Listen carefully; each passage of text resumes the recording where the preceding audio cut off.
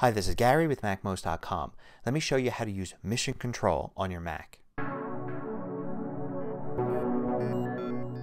So I'm using Mac OS 10.9. I'm going to take a look at Mission Control.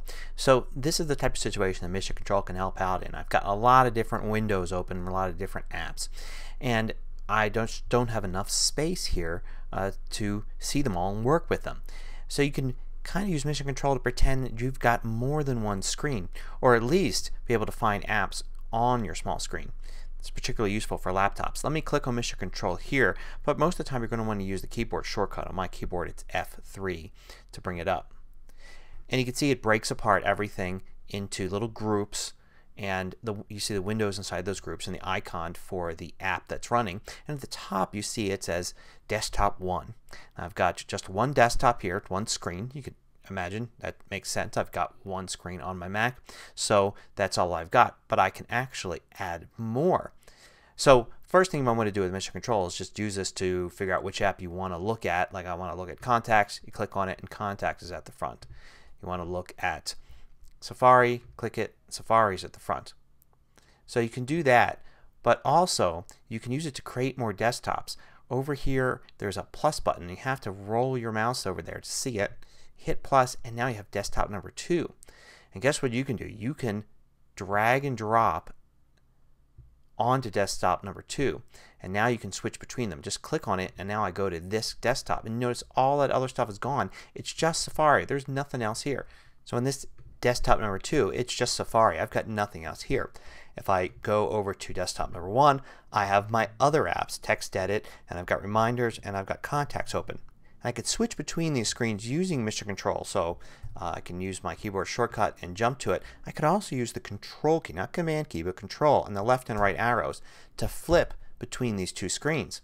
And of course I can add more. I can add a third, fourth, fifth screen. So you can see how when you're working on a laptop it makes you feel like you've got more than one screen. If you just want to glance at what's going on over here you can just use control and the right arrow and then you can go back and if you forget where something is because you have many different desktops open you can click on mission control or bring it up and you can see where things are and you can also uh, switch between these inside of mission control. I'm using control and the arrows here so if I wanted to bring TextEdit into this desktop I could do it then I can move over to this desktop and I could bring Safari over here so it's very easy to move windows and apps between these different desktops and of course add even more here if I want. If I want to get rid of these I can simply hit the X there and go back to this one. If I get rid of this one of course it's going to dump that screen back here so all four apps are now running on this desktop of course because it has to do something with them.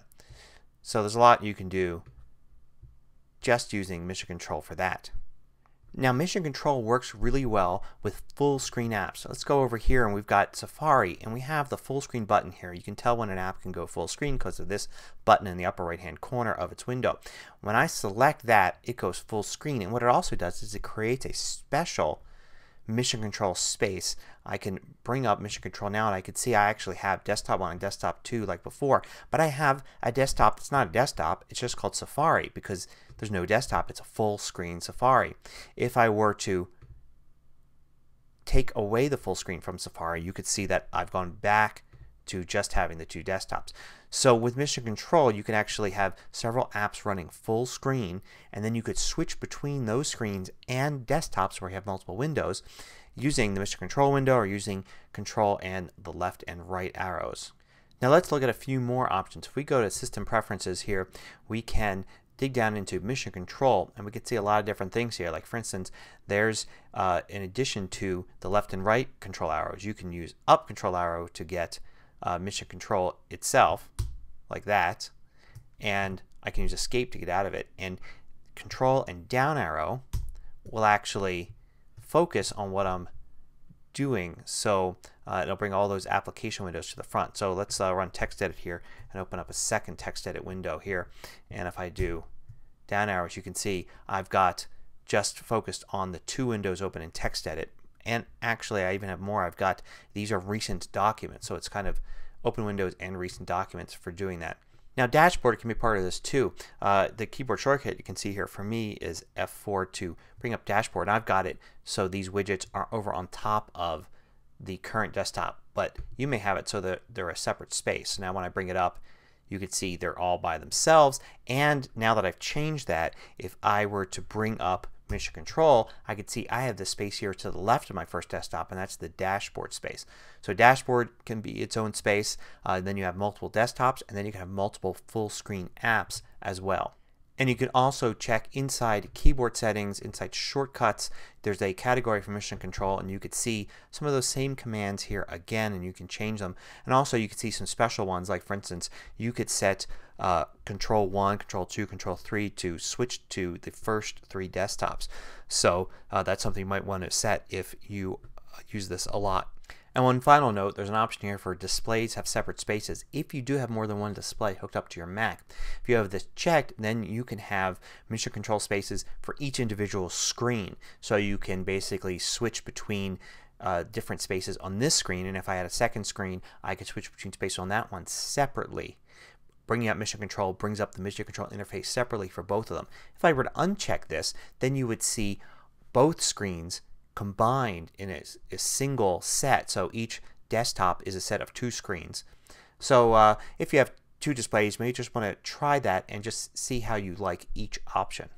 And also in the dock, if you control click on an application and you go to options, you have the ability to assign specifically to a display, uh, to a desktop. So you can basically say I want Safari to appear on all desktops. So you see the same window repeated across all spaces.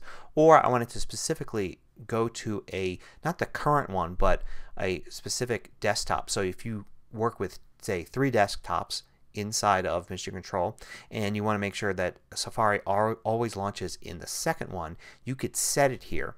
If you keep leave it at none, it will simply appear in the current desktop that you're using when you launch Safari.